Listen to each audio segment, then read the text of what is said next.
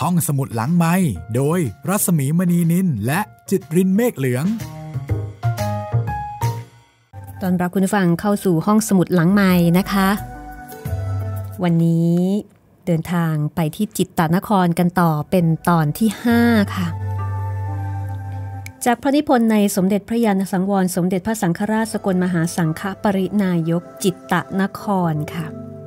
คุณฟังท่านไหนที่ฟังแล้ว สนใจอยากจะไปอ่านต่อด้วยตัวเอง ก็สามารถที่จะหาหนังสือเล่มนี้ได้นะคะ ตามร้านหนังสือโดยทั่วๆไปจิตตะนครของสำนักพิมพ์ธรรมดา ราคาเล่มละ 165 บาทค่ะ ยินดีโฆษณาให้เพราะว่าเป็นหนังสือที่ดีแล้วก็มีประโยชน์จริง ๆนะคะ นอกจากนี้สถานที่ที่น่าจะมีหนังสือนี้แน่นอน เพราะว่าดิฉันเคยไปมา แล้วก็เจอนั่นก็คือ สวนโมกกรุงเทพนะคะ หอจดหมายเหตุพุทธทาสอินทปัญโยค่ะ วัดบวรนิเวศ มหามงกุฎราชวิทยาลัยนะคะ มีแน่นอนค่ะ จิตตนครตอนที่ 5 วันนี้ เป็นตอนที่ คู่บารมี เห็นความสับสนวุ่นวายในจิตตนคร จึงได้เข้าตักเตือนนะคะ แล้วก็ขอกำลังมาช่วยเหลือเพิ่มเติม นั่นก็คือขออินทรีย์สังวร สติสัมปชัญญะ และสันโดษค่ะ ขอตัวช่วย เพื่อที่จะมารับมือกับสมุทัยตัวร้าย ซึ่งมีทั้งกิเลสตัณหา มากมายเข้าแทรกซึมครอบครองจิตใจชาวจิตตานคร จนเต็มไปด้วยภัยพิบัติอันอ่านดูแล้ว รู้สึกว่าใกล้เคียงกับสถานการณ์ปัจจุบันนะคะ โดยเฉพาะคำกล่าวของสมุทัยที่บอกว่าให้เชื่อสมุทัยเถอะ ถ้าเชื่อสมุทัยเนี่ยชีวิตจะมีความสุขสนุกสนาน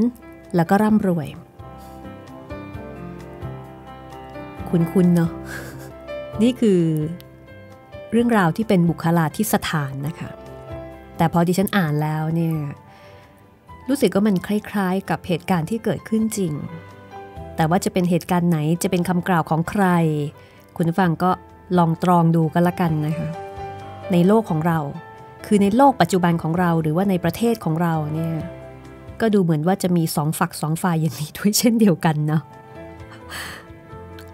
คือตอนที่หยิบหนังสือเล่มนี้มาอ่านนี่ไม่ได้นึกอะไร ไปในแง่นั้น แต่ว่าพออ่านอ่านไปเอ๊ะมันคล้ายๆยังไงบอกไม่ถูก แต่ไม่บอกนะ ว่าฝ่ายไหนเป็นสมุทัยหรือฝ่ายไหนเป็นคู่บารมี อ่านแล้วก็คงก็คงรู้เองเนาะใกล้เคียง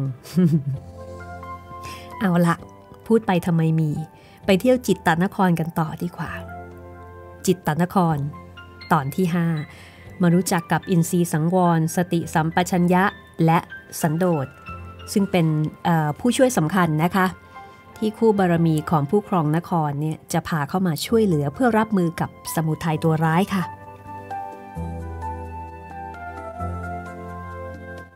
เมื่อคู่บารมี เรียกอินทรีสังวร สติสัมปชัญญะและสันโดษให้มาเป็นผู้ช่วย เจ้าผู้ครองนครก็ถามว่า อินทรีสังวรทำหน้าที่อะไร อินทรีสังวร มีความสามารถในทางระวังรักษาทางสื่อสารแห่งจิตตะนคร ทั้งชั้นนอกชั้นใน มีให้คนร้ายหรือว่าฆ่าศึกศัตรูหมู่ปัจจามิตรทั้งปวงเข้ามา ควรที่จะมอบหน้าที่ให้รักษาทางสื่อสารตามถนัด ส่วนสติสัมปชัญญะมีความสามารถในการอยู่ยาม เฝ้าอิริยาบถททุกแห่งของจิตตะนคร ก็ควรจะมอบหน้าที่ ให้เฝ้าอิริยาบถททุกแห่งตามที่จัดเจน เหมือนก็เป็นรปภนะคะส่วนสันโดษมีความสามารถในทางจัดสรรปันส่วนทรัพย์สินเงินทอง ที่ดินเรือกสวนไร่นาบ้านเรือน เครื่องอุปโภคบริโภคทุกอย่างทำให้ผู้ที่ได้รับเกิดความพอใจตามส่วนของตน จึงควรมอบหน้าที่ให้เป็นผู้ปันส่วนให้เกิดความพอใจในส่วนของตน นครสามีก็ตกลง รับอินทรีย์สังวร สติสัมปชัญญะนะคะ แล้วก็สันโดษ ให้เข้าปฏิบัติหน้าที่ในจิตตะนครตามที่คู่บารมีแนะนำศีลกับวินัยก็เข้าประจำรักษาไตรทวารของจิตตะนคร ฮิริโอตปะ เขาทำหน้าที่เป็นนครบาล อินทรีสังวรเข้ารักษาระบบสื่อสารทั้งชั้นนอกชั้นใน สติสัมปชัญญะเข้ารักษาอิริยาบถของจิตตานครทุกแห่ง สันโดษก็เข้ามาเป็นผู้จัดปันส่วนสิ่งต่างๆ โดยสุจริตยุติธรรมแก่ทุกๆคน ดังนั้น เมื่อบุคคลของคู่บารมีเข้าปฏิบัติหน้าที่ในจิตตานคร เหตุพิบัติต่างๆ ในจิตตานครก็เริ่มลดน้อย ถอยลงโดยลำดับ สถานการณ์ จึงดีขึ้น เพราะว่าจิตตนครตอนนี้นะคะ ได้กลับคืนสู่ภาวะปกติอีกครั้ง ส่วนสมุทัยก็จำเป็นจะต้องถอยออกไปก่อน สมุทัยก็ต้องหลบหนีไปละค่ะ เพราะว่าไม่กล้าทนต่อการพิสูจน์ของฝ่ายคู่บารมี แต่การที่สมุทัยถอยร่นหลบหน้าไปนั้น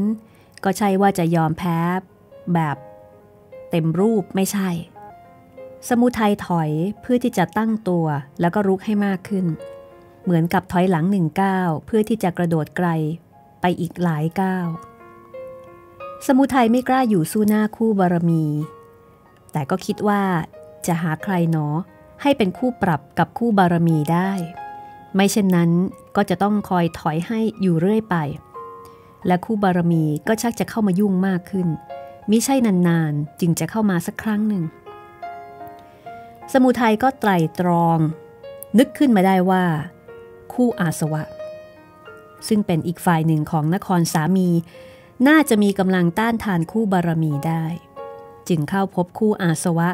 ชักชวนให้มาช่วยกันกำราบปราบปรามคู่บารมีลงครูอาสวะก็บอกว่าจริง ๆ แล้วก็คอยช่วยสมุทัยอยู่ตลอด แต่ช่วยอยู่ลับๆเป็นการภายใน เมื่อครูบารมีแนะนำอะไร คู่อาสวะก็จะคอยคัดค้านอยู่ทุกครั้ง ด้วยวิธีกระซิบเบาๆ ที่กกหู หรือว่าที่ใจ บางทีก็เหมือนอย่างมาอภิปรายโต้วาทะกันต่อหน้านครสามี จริงๆ คู่อาสวะก็เป็นคนต่างเมืองต่างถิ่นมิใช่ชาวจิตตานครโดยตรง มาจากต่างเมืองที่ห่างไกล แล้วก็สามารถทำให้นครสามีเกิดความรักใคร่ เกิดความเป็นเราเป็นเขา เกิดความงงงวยหลงไหล กลายเป็นคนใกล้ชิดสนิทสนม จนถึงเข้ามาอยู่ประจำองค์นครสามีแล้วก็ไม่ยอมออกห่าง สามารถที่จะเรียกว่าคู่ได้ จึงกลายเป็นคู่อาสวะ คู่อาสวะจึงถือตนว่าเป็นคนในเช่นเดียวกับคู่บารมี คู่อาสวะไม่ไม่ค่อยจะยอมถอยหลัง เมื่อคู่บารมีเข้ามา ทั้งยังคอยกระซิบใจนครสามี โต้แย้งคัดค้านมิให้เชื่อคู่บารมี แต่ให้เชื่อสมุทัยคู่บารมีเองเมื่อถูกปะทะบ่อยเข้า ก็ยิ่งเข้มแข็ง ยิ่งเข้าประจำนครสามี แล้วก็แนะนำตักเตือนบ่อยครั้ง เมื่อถูกโต้แย้งมา คู่บารมีเมื่อถูกโต้แย้ง ก็มักจะโต้ตอบกลับไปตามสัจจะคือความจริงทำให้นครสามีเกิดความลังเลสับสน เรียกใช้ฝ่ายนี้บ้างฝ่ายโน้นบ้าง บางทีก็เรียกใช้ทั้งสองฝ่าย โดยแบ่งปันขอบเขต หรือส่วนสิ่งกัน เช่น ไตรทวารของจิตตานคร บางคราวศีลและวินัยเข้ารักษาทั้งหมด บางคราวทุจริตเข้ายึดไว้ได้จากศีลทั้งหมด บางคราว ศีลวินัยรักษาไว้ได้แต่บางส่วน บางสิ่งทุจริตยึดไปได้บางส่วนบางสิ่ง ส่วนฮิริโอตปะ ที่ทำหน้าที่นครบาล เที่ยวตรวจตรา ทั่วจิตตนครในบางเวลา ถูกตันหาซึ่งเป็นพักพวกของสมุทัยรังแกขับไล่ไปในบางเวลา คือไม่ใช่ว่าจะปฏิบัติหน้าที่ได้โดยราบรื่น เช่นเดียวกับอินทรีย์สังวร และสติสัมปชัญญะ แล้วก็สันโดษ คือปฏิบัติหน้าที่ได้เป็นเป็นครั้งคราว หรือว่าในบางส่วน เพราะว่าพักพวกของสมุทัย มักเข้ายึดหน้าที่ในบางคราวหรือบางส่วนเช่นกัน เพราะฉะนั้นสถานะของจิตตานครจึงมีทั้งสงบสุข ทั้งทุกข์เดือดร้อน ถ้าเป็นสีก็เหมือนสีขาวดำมีทั้งดีทั้งชั่ว นี่คือสภาพของจิตตานคร ที่ก็เหมือนกับบ้านเมืองทั่วไป ที่ไม่ได้มีสีใดสีหนึ่ง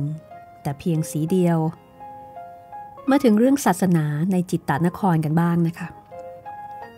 เรารู้จักส่วนต่างๆ สิ่งต่างๆ ในจิตตานคร หรือว่าโครงสร้างโดยรวมมามากแล้วนะคะ คราวนี้ลองมารู้จักกับศาสนาในจิตตนครว่าเป็นอย่างไร ในจิตตนครก็มีศาสนามากมาย มีครบทุกศาสนาเหมือนดังที่มีอยู่ในโลก พุทธศาสนาก็ได้มีอยู่ในจิตตนครเช่นเดียวกัน ศาสนาทั้งหลายที่มีมาก่อนและที่มีในภายหลังก็ดูคล้ายๆ กับมีในจิตตนครโดยครบถ้วน แต่ชาวจิตตนครนับถือศาสนากันอีกแบบหนึง่งต่างจากโลกภายนอกค่ะ เมื่อพระพุทธองค์ยังเป็นพระโพธิสัตว์ยังมิได้ตรัสรู้ มีพระปณิธานต่อพระโพธิญาณ ทรงบำเพ็ญพระบารมีสิบประการ คือทานศีลเนคขมมะ ปัญญาวิริยะขันติสัจจะ อธิฐานะเมตตาอุเบกขาอย่างเต็มที่ เมื่อพระบารมีแก่กล้าขึ้นก็ได้ทรงละทางที่ผิด ทรงพบทางที่ถูกต้องขึ้นโดยลำดับ จนถึงได้ทรงพบมัชชิมาปฏิปทาคือทางสายกลาง ไม่คล้องแวะด้วยทางที่พัวพันด้วยสุขสดในกาม และไม่คล้องแวะด้วยทางทรมานตนให้ลำบากเปล่า คือทางมีองค์ 8 ประการได้แก่ความเห็นชอบ ความดำริชอบ วาจาชอบ การงานชอบ เลี้ยงชีวิตชอบ พยายามชอบ สติชอบ สมาธิชอบ ในวันที่จะตรัสรู้พระโพธิญาณได้ทรงตั้งจาตุรงคะมหาประธาน คือความเพียรประกอบด้วยองค์สี่ว่าเลือดเนื้อจะเหือดแห้งไปหมด เหลือแต่หนังเอ็นกระดูกก็ตามทีหากยังไม่ทรงบรรลุธรรมที่จะพึงบรรลุได้ด้วยกำลังเรี่ยวแรงของบุรุษ จะไม่ทรงลุกขึ้นจากที่นั่งอันนี้ ทรงตั้งความเพียรยกเอาเลือดเนื้อหนึ่งหนังหนึ่งเอ็นหนึ่งกระดูกหนึ่งรวมสี่ประการขึ้นอ้างอิง จึงเรียกว่าประกอบด้วยองค์สี่คราวนั้นสมุทัยกับพักพวก เห็นพระโพธิสัตว์ทรงปฏิบัติ เช่นนั้นก็ไม่พอใจ เพราะนี่เป็นการปฏิบัติที่จะพ้นจากอำนาจของตน จึงได้พยายามขัดขวางต่างๆ ตั้งแต่แรก เช่น เมื่อพระมหาสัตว์ซึ่งครั้งเป็น พระสิทธัตถราชกุมาร ทรงสละราชสมบัติ ทรงม้ากันทกะ มีนายชนะเป็นสหายเสด็จออกจากพระนคร มารก็ได้มายืนอยู่ที่ประตูนครกล่าวห้ามว่า กลับเสเถิดสิทธัตถะจักรรัตนสมบัติจักมีปรากฏแก่พระองค์ในวันที่เจ็ดแต่วันนี้ พระสิทธัตถราชกุมารตรัสว่า ดูก่อนมารเรารู้จักท่านเราไม่ต้องการด้วยจักกรัตนสมบัติ มารก็ถามต่อว่า ถ้าเช่นนั้นพระองค์ต้องการอะไร พระองค์ตอบว่าเราต้องการพระสัพพัญยุตยานคือความตัสรู้ธรรมทั้งปวง ถ้าอย่างนั้น ตั้งแต่วันนี้เป็นต้นไป ถ้าพระองค์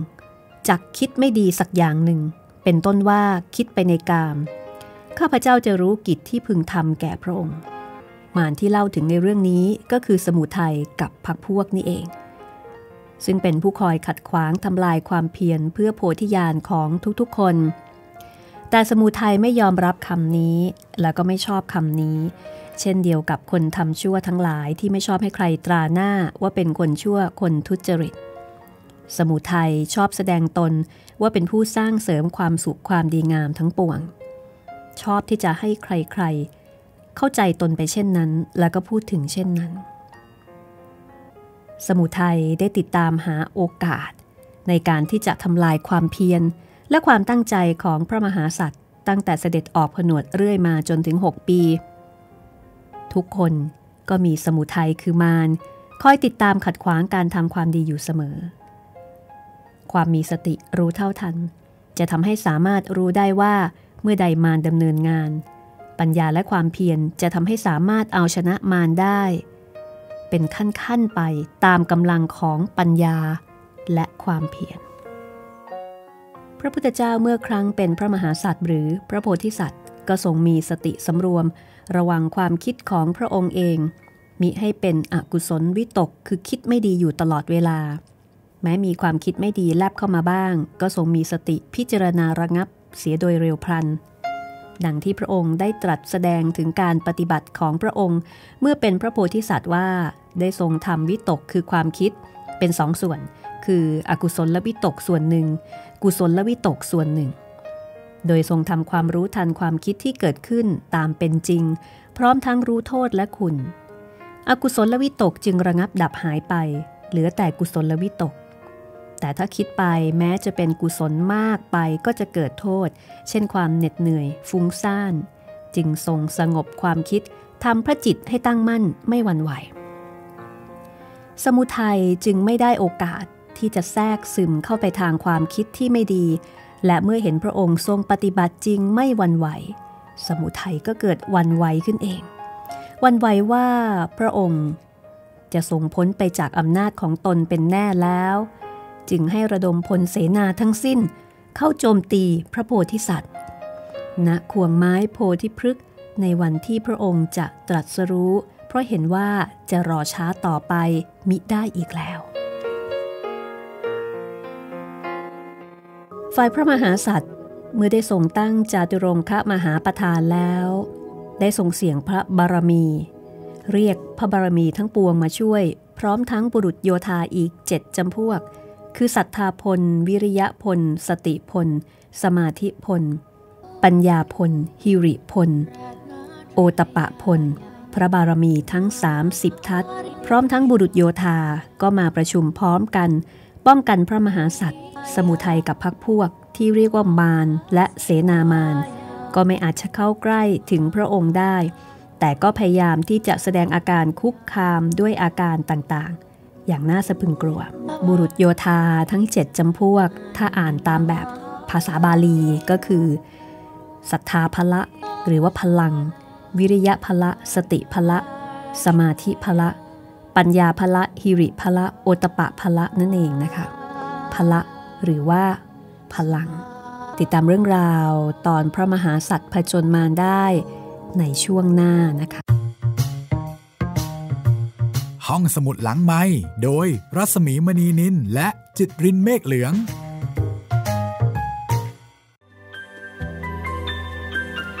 กำลังสนุกทีเดียวนะคะสำหรับเหตุการณ์ตอนพระพุทธเจ้าผจญมาร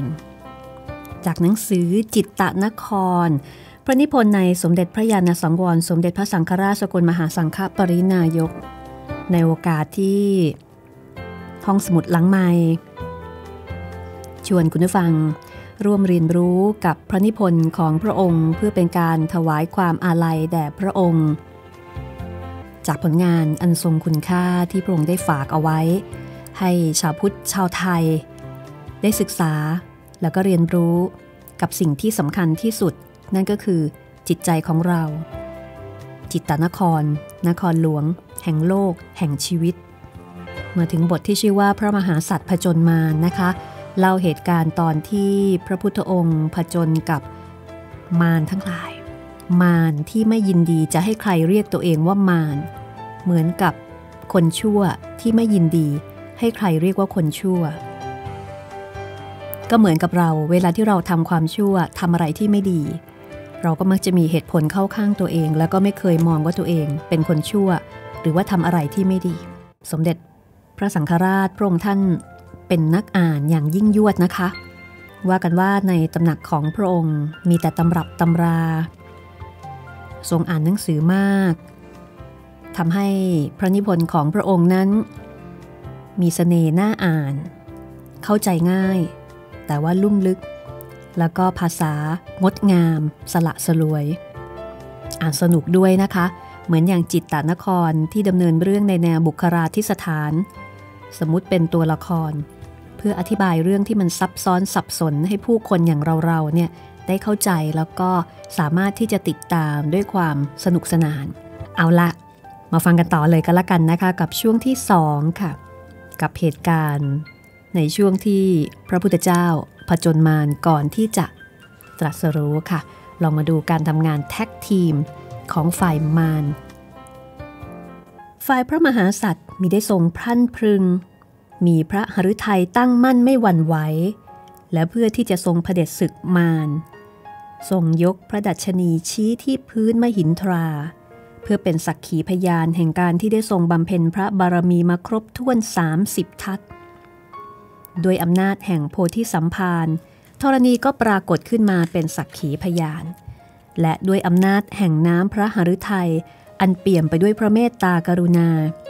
ก็ปรากฏ หุทกะธาราจากธรณี หลังไหลพัดพามานและพลพยุหะเสนาออกไปจนหมดสิ้น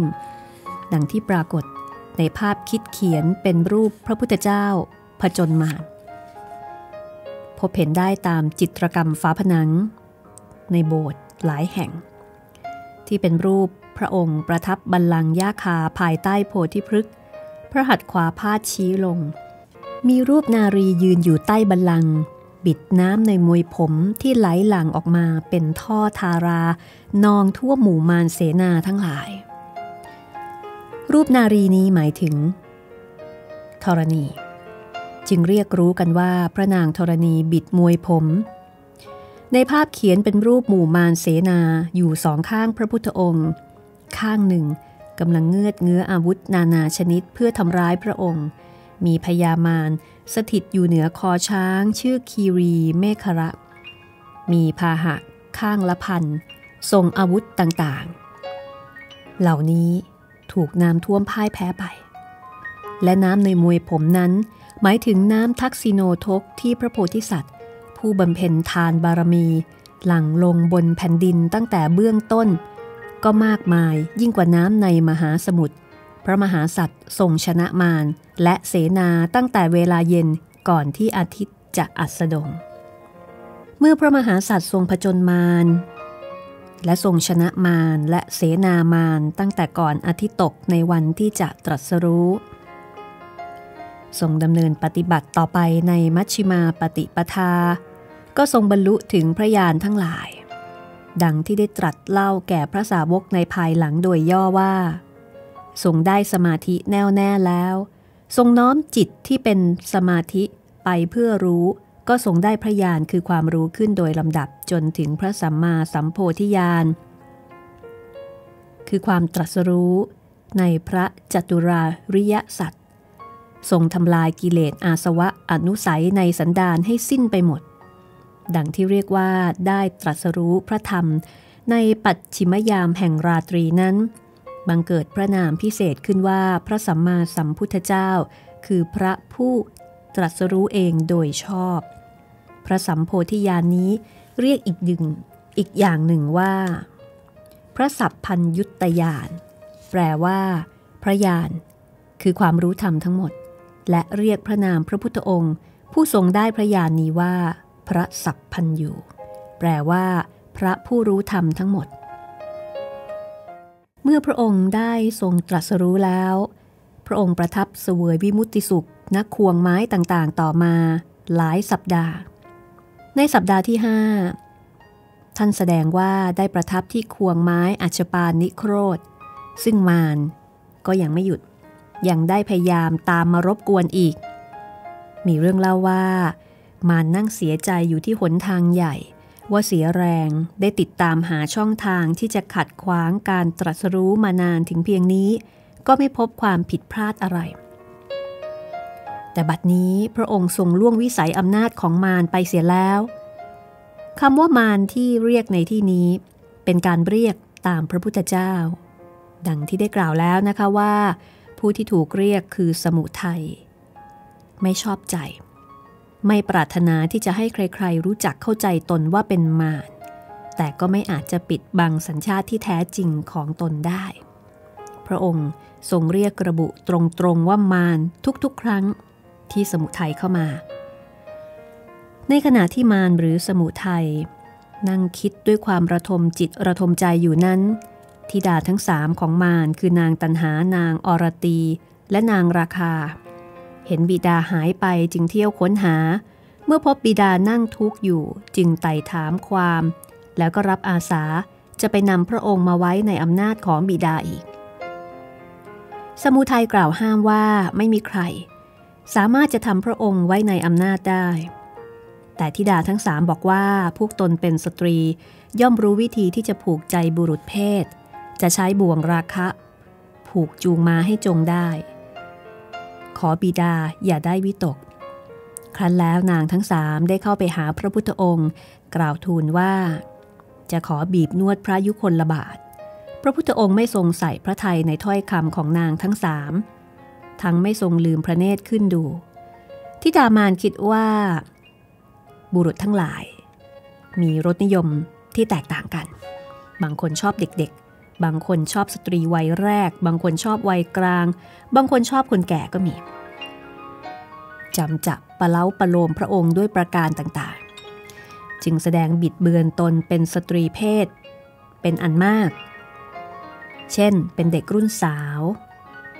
ผู้ยังไม่มีบุตร เป็นผู้ที่มีบุตรแล้วคนหนึ่งสองคน เป็นสตรีวัยกลางจนกระทั่งถึงเป็นสตรีชรา คือครบทุกอย่าง ทุกแบบ หลากหลายมาก เข้าไปเฝ้าพระองค์ 6-7 ครั้ง พระพุทธองค์ทรงเข้า สมาบัติเสวยวิมุติสุข ไม่ได้สนพระไทยเลย ตรัสว่า ผู้ใดชนะกิเลสเด็ดขาดแล้ว ไม่กลับแพ้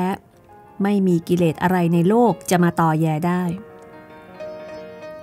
ผู้ใดไม่มีตัณหา ที่เหมือนอย่างตาข่ายคล้องใจให้ติดนำไปที่ไหนๆ เจ้าทั้งหลายจักนำผู้นั้นซึ่งเป็นผู้รู้ มีที่เที่ยวไปแห่งพระยานไม่มีที่สิ้นสุด ไม่มีร่องรอย ด้วยร่องรอยอะไรเล่า ทิดามานได้ฟังดังนั้นก็อันตรธานหายไป นี่คือเรื่องการผจญมารของพระพุทธเจ้าตลอดจนการที่ทรงผจญทิดามาน จนได้รับชัยชนะ เป็นเรื่องของพระพุทธเจ้าผู้ทรงอุบัติขึ้นในโลกเมื่อประมาณ 45 ปีก่อนพุทธศักราช กลับมาที่จิตตานคร ปัจจุบันนี้ นอกจากพุทธศาสนาก็มีศาสนาต่างๆ สั่งสอนกันอยู่ในโลกหลายศาสนา แต่เป็นข้อที่แปลกอย่างยิ่ง ที่ในจิตตานครมีอยู่เพียงสองศาสนาเท่านั้น คือพุทธศาสนา และสมุทัยศาสนา กับมีข้อที่ยิ่งแปลกคือพระพุทธเจ้าในจิตตานคร หาได้เสด็จดับขันธปรินิพานเหมือนองค์พระพุทธเจ้าในโลกไม่ พระพุทธองค์ยังทรงดำรงอยู่ ซึ่งผู้ที่เห็นธรรมเท่านั้นจึงจะเห็นพระองค์ได้ ดังที่ได้ตรัสไว้ว่า ผู้ใดเห็นเรา ผู้นั้นเห็นธรรม ผู้ใดเห็นธรรม ผู้นั้นเห็นเรา สำหรับที่บอกว่าในจิตตนครมีสองศาสนา คือศาสนาคำสั่งสอนของพระพุทธเจ้า กับสมุทัยศาสนา สมุทัยศาสนา คืออะไร สมุทัยศาสนา คือศาสนาคำสั่งสอนของสมุทัยที่พระพุทธเจ้าตรัสเรียกว่ามารนนั่นเอง ถามว่ามารหรือสมุทัย ก็มีศาสนาด้วยหรือ ท่านผู้นิพนธ์กล่าวว่า เมื่อพระพุทธเจ้าทรงประกาศพระพุทธศาสนาในจิตตนคร ฝ่ายสมุทัยกับคู่อาสวะเกรงว่าพระองค์จะทรงทำชาวจิตตนครให้เป็นพุทธบริษัทไปเสียหมด และตนก็จะเสื่อมถอยอำนาจ จะสิ้นอำนาจครองใจคนต่อไป จึงเห็นว่าจะต้องตั้งศาสนาขึ้นต่อต้าน แต่การจะตั้งศาสนาขึ้น จำต้องแสดงตนเป็นศาสดา สั่งสอนลัทธิปฏิบัติที่ชวนให้โลภโกรธหลง สมุทัยได้ใช้ ให้โลภโกรธหลง คอยคุมใจผู้คนแล้วก็สอดแทรกอยู่ในใจของผู้คนอยู่แล้ว สมุทัยจึงแสดงตนเป็นศาสดา กล่าวสั่งสอนลัทธิปฏิบัติดังกล่าว สอดแทรกโลภโกรธหลง หรือกิเลสตัณหา พร้อมทั้งอารมณ์ล่อให้เห็นเป็นรูปนิมิตจริงจัง เช่น เห็นเป็นเทพเจ้ามาปรากฏองค์ ได้ยินเสียงกระซิบกระซาบบอกกล่าวข้ออนุสาสบางอย่าง เมื่อใส่โลภเข้าไปในใจแล้ว สมุทัยก็รู้ว่า สอนวิธีให้ได้สมโลภบ้างก็จะเกิดความนับถือ เมื่อใส่หลงเข้าไปในจิตใจแล้ว สมุทัยก็รู้ว่าหลงไหลในโลกไม่อยากจะตาย อยากจะอยู่เสวยสุข ชั่วนิรันด์ก็สอนเรื่อง ภูมิแห่งสุขนิรันดรเช่นนั้น จึงเกิดเป็นศาสนาขึ้นอีกศาสนาหนึ่ง เรียกให้ต่างจากพุทธศาสนาว่า สมุทัยศาสนา หรือมารศาสนา มารศาสนาตรงข้ามกับพุทธศาสนา คือถ้าพุทธศาสนาสอนให้ไปทางทิศตะวันออก มารศาสนาก็สอนให้ไปทางทิศตะวันตก สอนข้านกันอยู่เช่นนี้ พระพุทธเจ้าทรงสอนให้พ้นไปจากอำนาจสมุทัย ส่วนสมุทัยสอนให้ผูกพันไว้ ไม่ปล่อยให้หลุดพ้นไปได้ ชาวจิตตนคร จึงพากันภาวะผวัง บางคนนับถือทางนี้ บางคนนับถือทางโน้น คนเดียวกัน บางคราวนับถือพระ บางคราวนับถือมารด้วยเข้าใจว่าเป็นเทพผู้ศักดิ์สิทธิ์ไปก็มี ถามว่า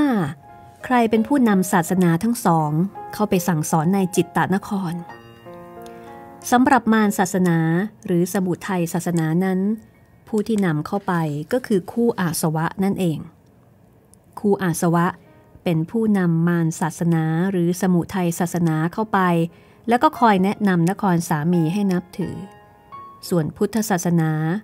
ก็คือ ศาสนาที่คู่บารมี ของนครสามีเป็นผู้นำเข้าไป แล้วก็คอยแนะนำนครสามีให้นับถือ ตอนแรกๆ นครสามีก็เอ็นเอียงไปทางคู่อาสวะมากทำให้สมุทัยกับพรรคพวกครองอำนาจในจิตตะนครได้อย่างเต็มที่ ควบคุมระบบสื่อสารทั้งหมด คุมชาวจิตตะนครทั้งหมด คุมไตรทวารของจิตตะนครทั้งหมด ต่อมาเมื่อความยุ่งยาก ความทุกข์เดือดร้อนเกิดมากขึ้น เพราะว่าพักพวกอาสวะเกิดชะล่าใจ ประพฤติทุจริตจะแจ้งมากขึ้นทุกที จนชาวจิตตานคร เริ่มรู้สึกถึงความชั่วร้ายของพระพวกสมุทัยคู่บารมีจึงมีโอกาสเริ่มเข้าพบ แนะนำนครสามี ให้เรียกศีลและฮิริโอตปะ มาใช้ในกิจการบ้านเมืองดูบ้าง ตามคำแนะนำสั่งสอนของพระสัมมาสัมพุทธเจ้า นครสามี เห็นว่าบ้านเมืองเดือดร้อนก็ยอมปฏิบัติตามโดยเรียกศีลมาใช้ ศีล วินัย ฮิริโอตปะนะคะพุทธศาสนา จึงเริ่มเข้าสู่จิตตนคร เป็นเหตุให้สมุทัยหวาดสะดุ้ง หาโอกาสเข้ามายุแย่นครสามีให้เลิกใช้ศีลและฮิริโอตปะ แล้วก็ให้กลับไปใช้พักพวกของสมุทัยตามเดิม แต่ครั้นความทุกข์ความเดือดร้อนกลับเกิดขึ้นมาอีก คู่บารมีก็ให้สติ ตักเตือนนครสามีให้เรียกศีลกับฮิริโอตปะกลับมาใช้อีก และคราวนี้คู่บารมีเสริมกำลังเพิ่ม โดยเรียกอินทรีสังวร สติสัมปชัญญะและสันโดษให้มาช่วยศีลกับฮิริโอตปะ ฝ่ายสมุทัยก็ไปขอให้คู่อาสวะ มาช่วยเสริมกำลังให้แข็งแรงขึ้น เพราะว่าสมุทัยนั้นปกติแล้วกลัวคู่บารมี ไม่กล้าสู้หน้า ต้องอาศัยคู่อาสวะ ซึ่งนับว่าเป็นฝ่ายข้างในของนครสามีเข้ามาช่วยสนับสนุน